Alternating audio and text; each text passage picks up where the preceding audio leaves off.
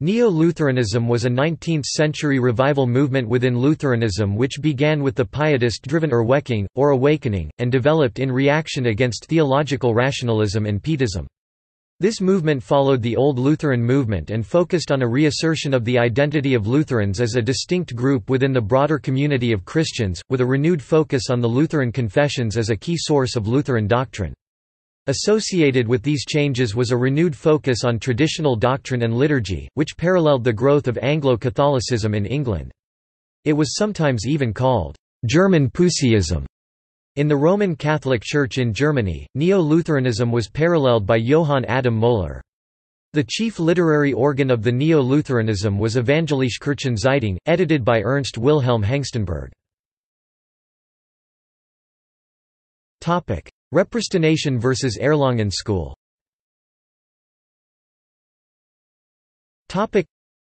Neo-Lutheranism developed as a reaction against the Prussian Union in a similar manner to the development of Tractarianism against the British government's decision to reduce the number of Irish bishoprics. A distinction developed in Neo-Lutheranism whereby one side held to repristination theology which tried to restore historical Lutheranism, while the other held to the theology of the Erlangen school. The Repristination Theology Group was represented by Ernst Wilhelm Hengstenberg, Carl Paul Caspari, Gustav Adolf Theodor Felix Hoenecke, Friedrich Adolf Philippi, and C. F. W. Walther.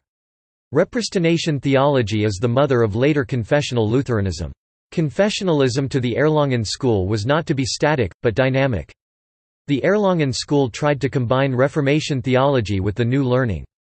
The Erlangen school included Franz Hermann Reinhold von Frank, Theodosius Harnack, Franz Delitzsch, Johann Christian Conrad von Hofmann, Carl Friedrich August Kahnis, Christoph Ernst Luthardt and Gottfried Thomasius. High Church Lutheranism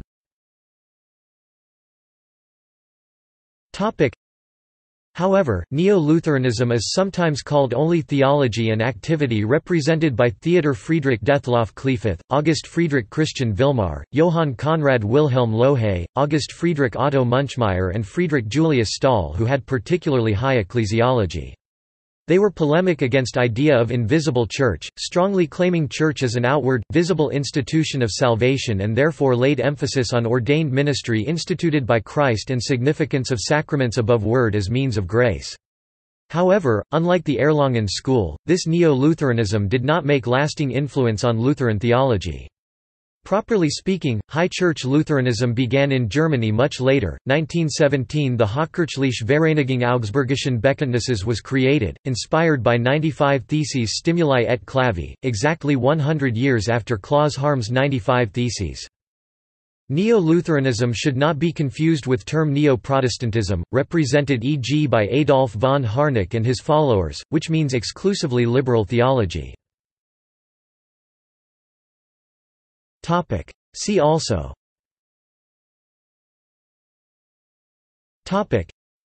Gottlieb Christoph Adolf von Harless Andreas Gottlob Rudelbach Charles Porterfield Krauth Ludwig Adolf Petri Frederick Gabriel Hedberg Evangelical Catholic Old Lutherans Gisle Johnson C. F. W. Walther Carl Paul Caspari UV.